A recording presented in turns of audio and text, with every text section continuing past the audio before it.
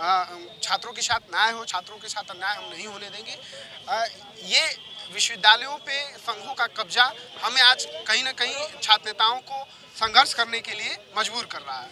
आप लोगों का निष्कासन भी है विश्वविद्यालय से? जी ये निष्कासन तो हम नहीं कर पाएँगे क्योंकि आज तक निष्कासन की नोटिस मुझे खुद नहीं मिली। इससे जस्ट पहले वाले सेमेस्टर में मुझे ए, मेरा एडमिशन कैंसिल करने की प्रक्रिया मुझे बताई गई थी। और इसके बताई गई थी, वो भी मौखिक बताई गई थी, कोई भी लिखित दस्तावेज़ मुझे नहीं दिया गया था। और सीधे सीधे लखनऊ विश्वविद्यालय गुंडई थी, जिसे मैं गुंडई कहूँगा, कि मेरे एडमिशन को